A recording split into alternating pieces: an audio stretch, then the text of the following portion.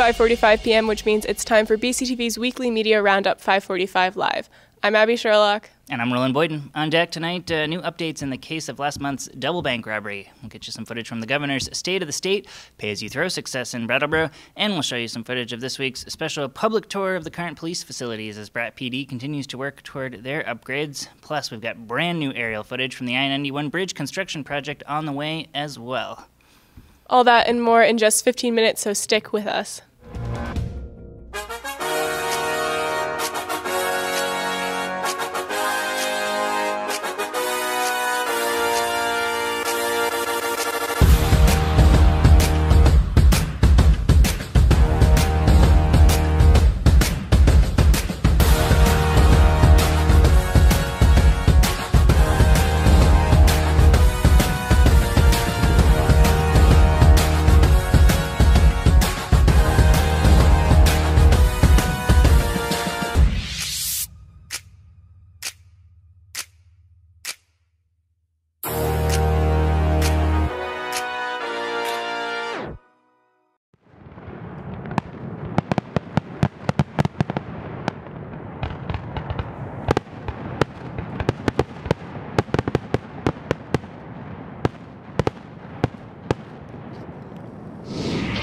Welcome back to this January 8th, 2016 edition of 545 Live, our first broadcast of the new year here following BCTV's holiday break. That's a look at some footage of the New Year's Eve fireworks here in Brattleboro, recorded at the base of the West River Trails I 91 bridge outlet by BCTV producer Russ Graybeck.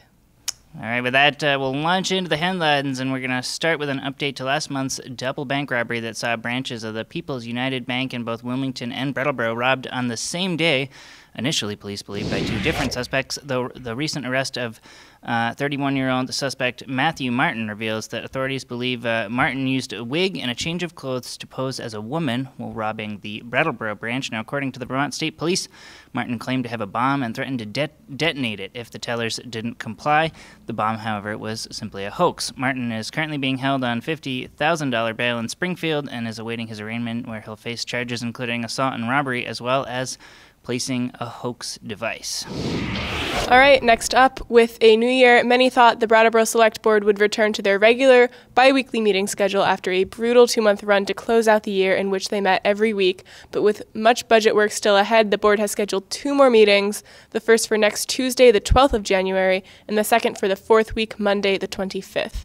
Now, among the elements factoring into this upcoming year's budget is a pending decision to bring trash removal from weekly to bi weekly as the success of the town's pay as you throw implementation on local trash production has meant area residents are throwing away much less in an effort to save on bag costs, leading the town to consider the step down to bi weekly pickup, something that could save the general fund as much as $100,000 because the community responded so well and has moved so much of the waste stream over into recycling and especially into compost that now the garbage waste stream is much smaller and um, doesn't in include the kinds of wastes that rot and become smelly and health hazards. And so we think there's an opportunity because of that behavioral change to do this and save $100,000 a year. That's a short clip from, from this past week's regular select board meeting, and as we mentioned, there'll be a series of special meetings. We'll cover them all here at Brattleboro uh, TV, and you can find them at brattleborotv.org, where the select board has its own landing page. And of course, they uh, all those meetings show two clicks up the dial on our government and education sister channel, Channel 10. Of course, another topic uh, for much consideration for the Brattleboro Select Board is the ongoing saga of the police fire upgrades, something that after more than a year on the back burner has been moving full steam ahead this fall with a series of new proposals, special meetings meetings and public outreach forums all on the topic, and with the latest plans looking to move the police fire facilities out of this here 230 Main Street Municipal Center space altogether in favor of the reformer occupied Black Mountain Road space, members of Brat PD took the time this week to host a public tour of the current police facilities here in an effort to help illuminate some of the building's many deficiencies when it comes to offering safe and effective policing services. And who other than uh, hardworking BCTV volunteer James Bansleben was there to gather some footage of the tour. This building um, was a uh, was a high school, and it was a courthouse as well at some point. Okay. Um, there was like a municipal court, like a Brattleboro court. Also present at the tour was Commons reporter Olga Peters. We'll have a full article uh, on it in this coming week's edition of the Commons, something we'll return to in greater depth on our own Commons news report here on 545 Live next week. Next, we head north to Montpelier, where this week the governor presented what looks to be his last State of the State address. And while familiar topics like the state's suffocating opiate problem, renewable energy, and others made the roster, the headliner from two years back, single payer healthcare, received not a single mention. Our innovation over the past two years is getting results. 65% more Vermonters are getting treatment. We're moving addicts into recovery instead of jail. Speaking of the governor's state of the state, addiction isn't just the hot topic here in the Green Mountain State. Across the river, presidential candidates took up the call during stumping in the Granite State. For more on this, we turn now to the students of Landmark College's 2016 J Term Broadcast Journalism class. Addiction is the new hot topic in New Hampshire campaigning. Presidential candidates are speaking about their connections to addiction in a state that has been hard hit by opiate epidemics. Jeb Bush's daughter suffered from addiction, and Trump's brother struggled and eventually succumbed to alcoholism. Martin O'Malley spoke about a friend who lost their daughter to addiction, and Carly Fiorina buried her daughter due to addiction. Every candidate promised to tackle the problem in a state that looks to these politicians for more answers. That's a short clip from the first episode uh, of the Landmark Broadcasters J Term class, as they'll do four different news shows during their three week winter intensive. Now, you can find all the shows from Landmark Broadcasters as they do news, uh, stories, and things like that. Find uh, the Landmark Broadcasters series page all at brattleborotv.org. All right, we've got the calendar just around the corner, but first, we did promise some new drone footage from BCTV as we uh, got a chance, uh, permission to fly it around the uh, I 91 bridge construction project as they continue uh, to work, looking to complete uh, what will be, uh, once it's finished, the widest single span bridge on the East Coast.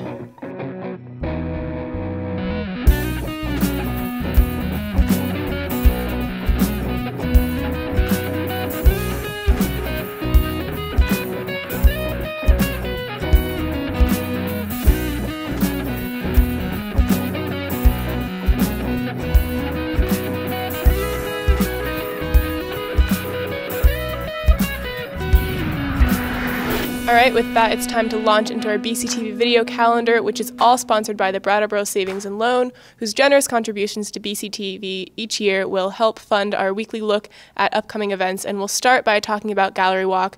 Technically, we are on the second Friday of the month, but with last Friday being New Year's Day, Gallery Walk was bumped back to today, and that means lots of happenings downtown, out on Putney Road, along the Western Ave corridor, and West Brattleboro, and more. And Gallery Walk does have its own website, gallerywalk.org, where you can find the official flyer, links to websites for featured galleries, and much more. All right, we'll move on in the calendar now. Tonight marks the return of Rock Voices, the highly anticipated choir and band performance, this year directed by Tony Lechner, with all the proceeds benefiting the AIDS Project of Southern Vermont. Now, that's set to kick off in just over an hour at 7 p.m. at the Center Congregational Church on Main Street in Brattleboro, and BCTV producer James Banslaven will be there this year to record it for BCTV. Plus, we've got a calendar spotlight video flashback now to last year's Rock Voices concert recorded by BCTV producer Russ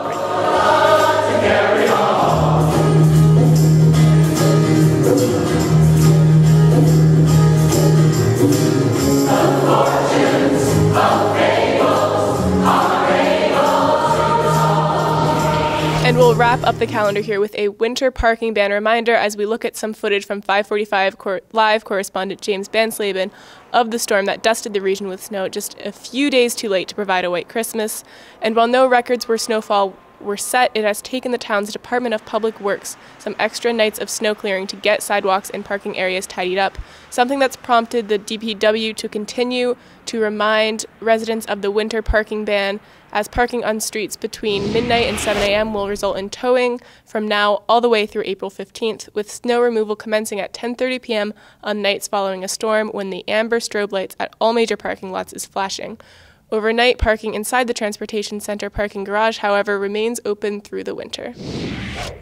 All right, now before we say adieu to this edition of 545 Live, let's take a quick look at the weather, courtesy of the high school's morning news advisory broadcast crew. BUHS TV, take it away, guys. What's this weekend's weather look like? On Saturday, we have a high of 32 and a low of 32, which is interesting. Um, and an angry cloud because partly cloudy. Um, Sunday is going to be a rainy day with a 47 high and a 27 low. And on Monday, we have a partly sunny day with a high of 33 and a low of 15. Now back to the desk. That does it for another edition of 545 Live. Thanks for joining us. We'll see you next week right here on BCTV Comcast channel, cable channel 8 at 5:45 p.m. Eastern Time. In the meantime, thanks for watching.